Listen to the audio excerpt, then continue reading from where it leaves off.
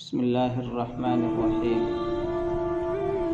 हज़रत हुज़ैफ़ा रज़ी अल्लाह तु और हज़रत अबू हुरैरा रज़ी अल्लाह तु फरमाते हैं कि रसूलुल्लाह सल्लल्लाहु अलैहि वसल्लम ने इरशाद फरमाया, क़यामत के दिन सिफत अमानत और सिला रहमी को एक शक्ल देकर छोड़ दिया जाएगा। ये दोनों चीज़ें पुलसरात के दाएँ बाएँ खड़ी हो जाएँगी।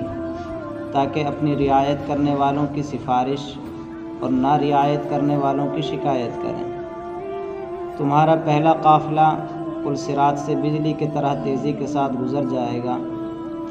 रावी कहते हैं, मैंने अर्ज़ किया, मेरे माँ बाप आप पर कुर्बान। बिजली की तरह तेज़ गुज़रने का क्या मतलब हुआ? आप सल्लल्लाहु अलैहि वसल्लम ने शाद फरमाया, क्या तुमने बिजली को नहीं देखा? कि वो किस तरह पल भर में गुज़र कर लौट भी आती हैं।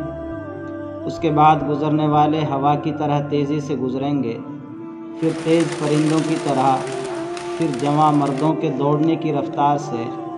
गरज हर शख्स की रफ़्तार उसके आमाल के मुताबिक होगी। और तुम्हारे नबी सल्लल्लाहु अलैहि वसल्लम पुल सिरात पर खड़े होकर कह रहे होंगे, ए मेरे रब, इनको सलामती से गुजार दीजिए, इनको सलामती से गुजार दीजिए।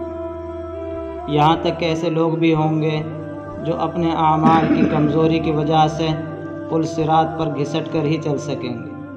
पुल सिरात के दोनों तरफ़ लोहे के आंकड़े लटके हुए होंगे, जिसके बारे में हुक्म दिया जाएगा, वो उसको पकड़ लेंगे।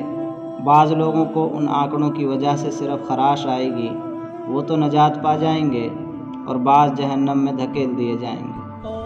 हज़रत अबू हुरैरा रज़ी अल्लाह तु फरमाते हैं कसम है उस ज़ात की जिसके कब्ज़ा में अबू हुरैरा की जान है। बिलाशुबा जहन्नम की गहराई सत्तर साल की मसाफत के बराबर है।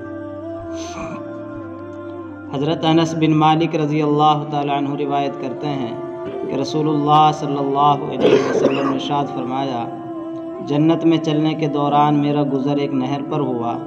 उसके दोनों जानब खोखले मोतियों से तैयार किए हुए गुंबद बने हुए थे। मैंने जब्राईल अलैहिस्सलाम से पूछा, ये क्या है?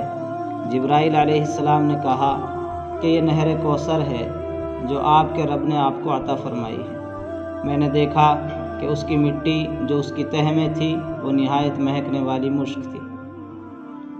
हज़रत अब्दुल्ला बिन आमर बिन आस रज़ी अल्लाह से रिवायत है कि रसूलुल्लाह सल्लल्लाहु अलैहि वसल्लम ने शाद फरमाया, मेरे हौज़ की मुसाफत एक महीने की है और उसके दोनों कोने बिल्कुल बराबर हैं, यानी उसकी लंबाई, चौड़ाई बराबर है।